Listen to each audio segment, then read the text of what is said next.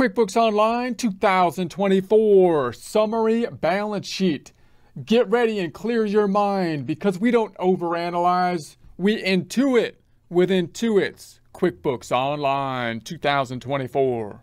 Here we are online in our browser searching for QuickBooks Online Test Drive, looking for the result that has Intuit.com in the URL, Intuit being the owner of QuickBooks, selecting the United States version of the software and verifying that we're not a robot opening up our major financial statement reports like we do every time. Reports on the left hand side in the favorites. We're going to be right clicking on the balance sheet report to open link in new tab. It's going to open up top, right clicking on the profit loss to also open link in new tab. Let's go up to that tab up top close up the hamburger. There's our balance sheet. We're going to bring it back to a range change 2023 01 01 23. It's like, oh no, I don't want to relive 2023 12 31 23, but we have to look at it.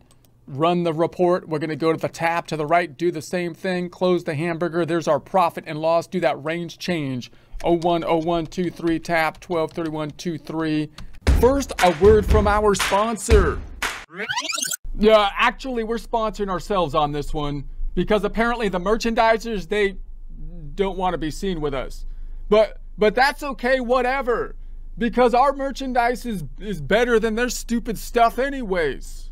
Like our Accounting Rocks product line. If you're not crunching chords using Excel, you're doing it wrong. A must-have product because the fact, as everyone knows, of accounting being one of the highest forms of artistic expression means accountants have a requirement, the obligation, a duty to share the tools necessary to properly channel the creative muse. And the muse, she rarely speaks more clearly than through the beautiful symmetry of spreadsheets. So get the shirt because the creative muse she could use a new pair of shoes. If you would like a commercial-free experience, consider subscribing to our website at accountinginstruction.com or accountinginstruction.thinkific.com and then run it again. Let's go back to the balance sheet. That's the report that we've been putting our focus on in this section. We talked about what it does in general, comparing and contrasting it to the profit and loss report and running some comparative balance sheets as well as a vertical analysis balance sheet. Now we want to think about a summary balance sheet just to see some comparing and contrasting to the standard balance sheet. So for example, uh, the, the balance sheet here, like we talked about before, the categories of the balance sheet have the categories that are normal financial statement categories, such as assets, being a normal financial statement category. Any kind of balance sheet you would have would have that subcategory generally. Same with the current assets. That's a general category. That's why these triangles are here. But then when we get to the bank accounts, we have a category that's not really natural to normal financial statement reportings because normally it would be something like cash and cash equivalents that we would group together. Why do they have it as a bank account? Because on the let's go to the first tab, Let's go into the transactions. Let's go into the chart of accounts and close up the ham boogie because when we set up each of the accounts, those are the account types. A bank account is one of the account types. It would be a current asset, but QuickBooks needs it to have its own category here because that is that's how they're that's how they're going to differentiate how the accounts will act in terms from a software standpoint meaning you can connect your bank feeds to it we saw the we saw the same thing here with the uh, accounts receivable where we have this subtotal and it's like well this made it a lot longer than it needs to be because you only really need one account here under other current assets if I was doing external just a, a balance sheet for external reporting instead of having this drop down an account and then a total, which is kind of long longer than necessary. And then all the other current assets are in another category when all of these should just be under just current assets, right? So now I've got these other current assets, which possibly I shouldn't really need another drop down, which is making another two lines here. And then with the fixed assets, we made our own drop down here uh, with a sub account, but you have a similar thing uh, with the fixed assets and then the liabilities, same thing. Liabilities is a normal category, current liabilities is a normal category, but with the accounts payable, I only have one account. So why do, so I have three lines even though I really only need one line that would be under current liabilities. Same with the credit card. And then the other current liabilities, you would think everything would just be a, a current liability line item. So you could collapse that stuff if you had your normal balance sheet. You could say, well, I don't, if I want this for external reporting, I could say, let's close this out and let's close this out and let's close this out. And then maybe on the fixed assets, maybe you don't even want to close out the fixed assets. Maybe, maybe that one is fine, but you could close that out. And then we could go to the liabilities and close out the accounts payable, the credit card, and then possibly the other current liabilities if we so choose, or maybe we keep that one open, right? And then the loan, the long-term loans payable, we could keep that one open possibly in equity. You might want to keep that open or close out. So you can kind of change it that way. And that looks great from this standpoint. And if you were to print it, that should work. So if I go to the, the print up top and I take a look at it, it does look like it's keeping those collapsed items that we collapsed. In other words, it's not opening it up if I was to then uh, print it. So that's great. If I save it as a PDF, we can open up the PDF and it looks like it saved it with those uh, collapsed items there. So that is nice. But if I export it, let's say I'm trying to do a little bit more formatting and I export it to Excel and I hit the drop down here and say export to Excel, and then I open that one up, then I believe it's going to open it if I'm enable the editing. You can see it basically, it basically uh, opens them back up because Excel wants to show each of the line items. So then if you did it that way, which we'll talk about how we'll use Excel in future presentations in conjunction with a PDF printer to try to get multiple reports on one on on one PDF file. So if you used that system, now it's like, okay, well now I'd have to go in here and adjust these accounts because it opened them back up, right? So the other report that you could use then is to say, well, I'll use the, the standard summary balance sheet. So if I go back to the left-hand side into the to the ham boogie and we go down to the reports, then closing the ham boogie, we have a summary balance sheet here instead of the standard balance sheet. The summary balance sheet is not usually something that we use for internal. Let's go ahead and range change it again. 01, 01, 23, 12, 31, 23, and run it. Not often something we use for internal reporting or to help us with our internal data input because normally when I do the data input, I want to see all of the accounts. I want to see them expanded over here so I can drill down on them and look at the detail within each of the accounts. And I can't really do that as easy over here because they've been grouped together.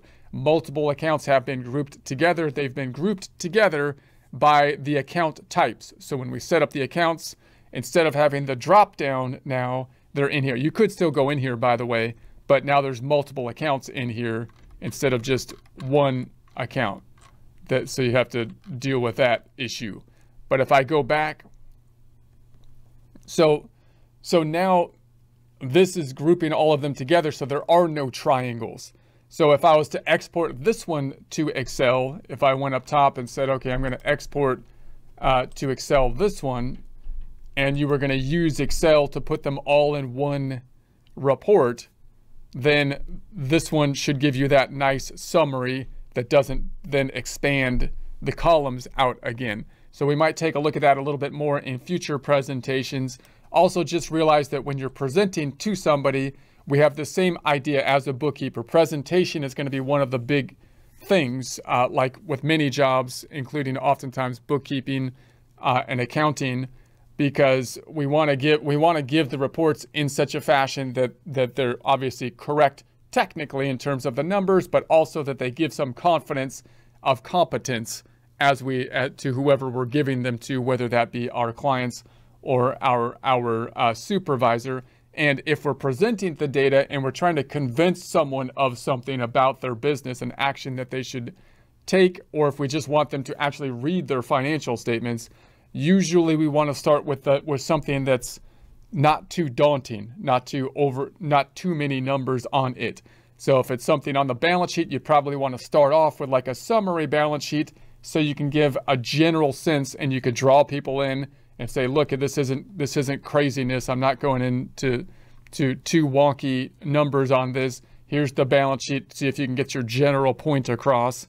And then once that has happened, once people are accustomed to that and they say, oh, that's not that bad. I understand this thing. Then of course you can go into the to the more extended balance sheet so you can drill down on actual line items within the balance sheet tying out to each of the accounts. And then once you've gone and done that, then you can expand on that and add more detail in terms of comparative balance sheet, vertical analysis, horizontal analysis, and hopefully be able to dig into the to the real uh, details and nuances of things without totally losing people. Also, if you go to this uh, summary balance sheet, you have another set of questions that come up, just like we had with the standard balance sheet, meaning I could do everything we did with the standard balance sheet with this one, right? So I could say, let's do a, a quarter by quarter comparison. So now the question is, do I want to give people the normal balance sheet with all the accounts, or maybe I give them a summary balance sheet that has the quarter by quarter comparison which will be more daunting, more confusing, more information in that it has more columns, but be easier in some ways because it's got less uh, categories here. Also note when you do the when you do the the squishing up of the of the triangles here, the non-expanding of you have the option to not to not do that to some of them, right? So if you so that's kind of nice on this side. I, maybe I don't want to do it on equity, for example Whereas if you do the summary balance sheet, it forces you to to remove the triangles by account type. So again, there's pros and cons to either of those two methods. But you could make again these the summary balance sheet like this. You can also do the comparative balance sheets comparing two uh, two time periods like we saw before. Let's say November and December. So let's make this for the period of December, 120123 to 1231. And then I can say, look at, um, wait, that's the wrong one. This one. Look at the previous period, November, and let's give a dollar change and a percent change and run it. So again, you have, a, the question would be, maybe for this comparative uh, balance sheet, I don't do it with the long balance sheet, but with the summary because although there's more numbers horizontally, it's at least a little bit easier to see in that it's a, a little bit shorter. It's not as long because it doesn't have any as many uh, accounts involved in it, right? Or you could do both, right? You can give them, if you want to come overwhelm and have a thick package of reports, you could do all these comparative reports for both the summary balance sheet and uh, the full full length balance sheet and so on. And then of course we can also do the comparison that's the wrong one again. What are you doing? We can do the comparison for the previous year. Change in dollar and percent, run it, and boom. So now we have that one comparing uh, December to December of the prior year. We don't have any data in this particular file for the prior year. If I go back to the standard, wrong one again, uh, and undo that, and then run it, so now we're back to normal. We can also do the vertical analysis with this one, which is another one. every time, every time you hit the wrong one. For crying out loud, for sobbing silence, for sobbing silently sake. I don't like to cry out loud. I like to sob silently. For sobbing silently sake, for crying out loud. Okay. So then again, so same kind of idea. So maybe the vertical analysis, if you think it's going to be overwhelming, you could do a vertical analysis with the summary balance sheet, which will which will give you that vertical analysis, but not as much detail in terms of the number of accounts. So we'll talk about batching up reports a little bit more and memorizing them and whatnot in future presentations and possibly some techniques to have your, your lineup of reports that you might think about providing on a monthly basis, uh, quarterly basis, and yearly basis in future presentations.